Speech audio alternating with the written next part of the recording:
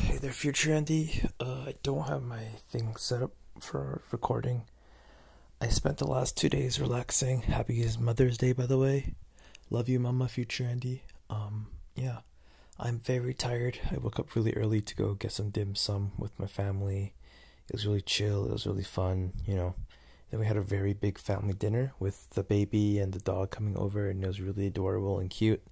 Just chilling then I just played. Uh, I just mostly just gamed and relaxed for most of the day. I wanted to study and um, study and do Japanese for a bit, but like I'm just way too tired after that. I should have taken a nap and studied, but yeah, it is what it is. Um, I feel a lot better. Like I feel more emotionally in check. Like I've emotionally recovered, thanks to um family things. I've, I've I think I've gotten over it. I'm not gonna beat myself up too much over it now aside from the stress, um, I had a really good talk with Juice God yesterday, and um, he gave me some, you know, how he felt about the whole situation, and I feel a little more grounded now. And my my brother gave me his take too. We had a man to man talk, and so yeah, it was, you know, now I know his perspective, and I know my other friend's perspective. I I can chill at ease, knowing that I got things I need to work on, and you know I definitely would have. I definitely am learning from my mistakes because I'm gonna take some time to write some things down tomorrow about what I should do before I travel next time.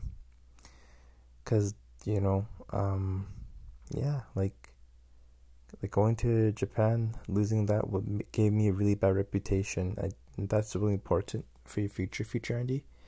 And so not to stress you or anything, but um, a few years ago when you lost your stuff in Japan the company that you work for um, never really hired you again because you were you know disorganized disorganized. And you know i've come to terms to accept you know i've made mistakes and there are consequences and you know appearances for making mistakes. But yeah. And the best thing you can do is not be yourself beat yourself up over it but have a course of action next time.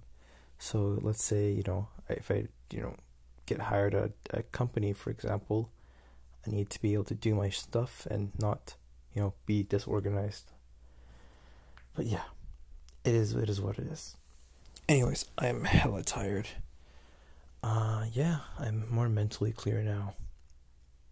I have an idea of what I need to do for the next two days because my class starts on Wednesday, but I can probably do a bit of studying for um a Genki chapter and do a lot of um grammar review and then a speedrun grammar review tomorrow to work on some editing because my brother and my cousin sent me all the clips so I can spend time tomorrow on my cool laptop over there doing some video editing, doing some tests, seeing how how good the laptop is for video edits.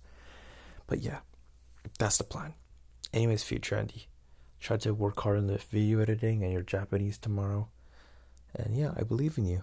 Yeah, ganbarimasu. You can do it. Good night and see you later. Peace.